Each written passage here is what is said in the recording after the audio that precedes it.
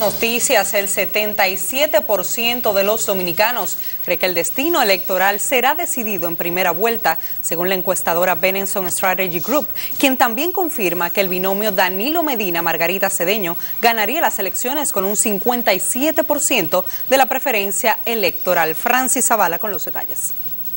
Según la encuestadora norteamericana Benetton Strategy Group, si las elecciones fueran hoy, el candidato presidencial del Partido de la Liberación Dominicana, Danilo Medina, obtendría un 48% del favor del electorado contra un 40% de Hipólito Mejía, candidato por el Partido Revolucionario Dominicano. Veríamos que el señor, el señor Danilo Medina, por el partido PLD, le lleva una delantera al expresidente Hipólito Mejía de ocho puntos. Eso es simplemente cuando le preguntamos a los votantes dominicanos que por quién votaría si fuera entre el señor Medina y el señor Mejía, ganaría el señor Medina por ocho puntos. El sondeo, con un margen de error de un 2.38%, arrojó además que el candidato del partido Alianza País, Guillermo Moreno, cuenta con un 2% y de Dominicanos por el Cambio, Eduardo Estrella, 1%. Los candidatos Mac Puig y Julián Cerulle obtuvieron 0%. La ventaja del señor Medina entre las mujeres, a ver si la matemática me funciona, es de 18 puntos. Eh, mientras que el señor Mejía tiene una ligera ventaja entre, los hombres. La firma encuestadora entrevistó a 1.200 personas entre el 27 y el 30 de marzo. El 51% de los encuestados manifestaron su apoyo a la candidatura de Danilo Medina, Margarita Cedeño del PLD y sus aliados, y el 43% a Hipólito Mejía con Luis Abinader del PRD y sus aliados, y un 6% no sabe. Según los resultados de la encuestadora norteamericana, el 77% de los dominicanos cree que no habrá segunda vuelta y el mayor respaldo del candidato del PRD viene de parte de los hombres. Francis Zavala, Noticias Telemicro. Con la llegada del extranjero el pasado fin de semana de los candidatos presidenciales Danilo Medina del oficialista Partido de la Liberación Dominicana y de Hipólito Mejía del opositor Partido Revolucionario Dominicano, se reactivan las actividades proselitistas rumbo a las elecciones del 20 de mayo. Pablo Luis Santana nos tiene los detalles. Luego de agotar una agenda de varios días por ciudades de Estados Unidos, Medina y Mejía, regresaron al país para continuar con sus respectivas campañas políticas.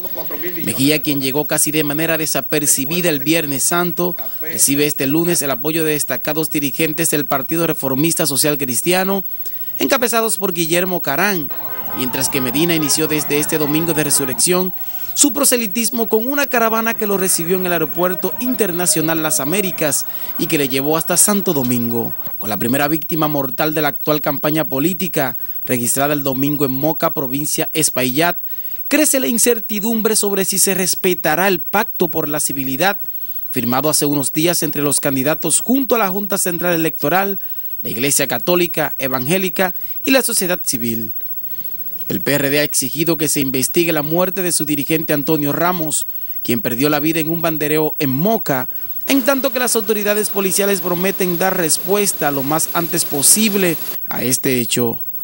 Mientras el escenario político inicia de esa forma, tras la irrespetada tregua por el asueto de la Semana Santa, varias firmas encuestadoras se aprestan a dar en estos días sus estadísticas, unas a favor de Danilo Medina y otras de Hipólito Mejía.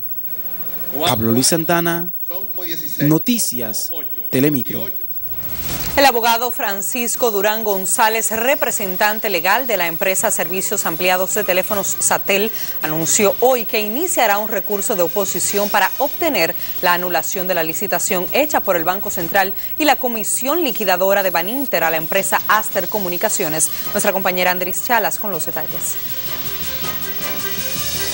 Durán González aseguró que las autoridades del Banco Central no le han dejado más opción que impugnar la adjudicación, ya que el propósito deliberado de esa entidad gubernamental era dejar a Satel fuera de la licitación. Satel desde, el 8 de marzo se le vienen negando derechos. Es que precisamente la comisión organizadora de esa licitación tenía que comunicarle antes del 8 de marzo a Satel su satisfacción o no con la presentación de la documentación. En ese mismo orden, Durán González insistió en que se hizo todo lo posible para evitar la participación de Satel porque sabían que presentaría una oferta mayor. Satel desde, la, desde el 8 de marzo se le vienen negando derechos. Es que precisamente la comisión organizadora de esa licitación tenía que comunicarle antes del 8 de marzo a Satel su satisfacción o no con la presentación de la documentación. El jurista indicó que es obligación de todos los funcionarios de instituciones públicas informar a la ciudadanía sobre la utilización de los servicios públicos. Andris Chalas, Noticias, Telemicro. La Federación Nacional de Trabajadores de la Industria de la Construcción emplazó al ministro de Obras Públicas, Víctor Díaz Rúa, a que responda por los montos de las pensiones de los 1.500 empleados que están fuera de nómina. El presidente de esa federación dijo que Odebrecht ingresó a la tesorería de la Seguridad Social 1.577 millones correspondientes al seguro familiar de salud y riesgos laborales. Al señor Díaz Rúa por el abuso de él tomar un dinero que no es de él y no reportarlo al fondo de pensión para que este fondo de pensión pueda ir en respuesta de todos los envejecientes que, que ya no tienen fuerza para trabajar en este país. La Federación Nacional de Trabajadores de la Industria de la Construcción continuará con su lucha al realizar una caminata hacia el Palacio Nacional el próximo miércoles 11 a las 11 de la mañana.